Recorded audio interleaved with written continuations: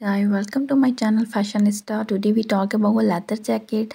A leather jacket is a jacket length coat that's usually on the top of the other apparel on item of clothing and made from a tan hide.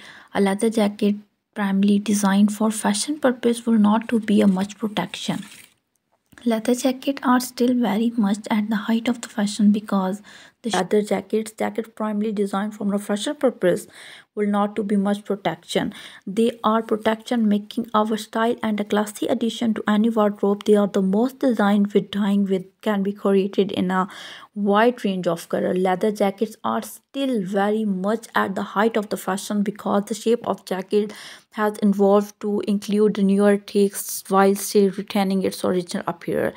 Instead of zipper and shirt thing a quality stitching and vest ties leather jackets also popular is because they are offer a classic style while other style come and go from year to year but leather jackets are hot stylish leather jackets are warm and windproof aside. They are using uh, motorcyclists in this uh, are a worn a protection during rugged outdoor activities. Most of the leather jackets are worn of everyday clothing. The leather jacket is hard wearing garments and the more worn it gets the more attractive it become. Leather jacket is all weather smarter twice. It's give a remarkable appearance to without taking any time you have just to need wear it. I hope you enjoy the whole video about the leather jacket.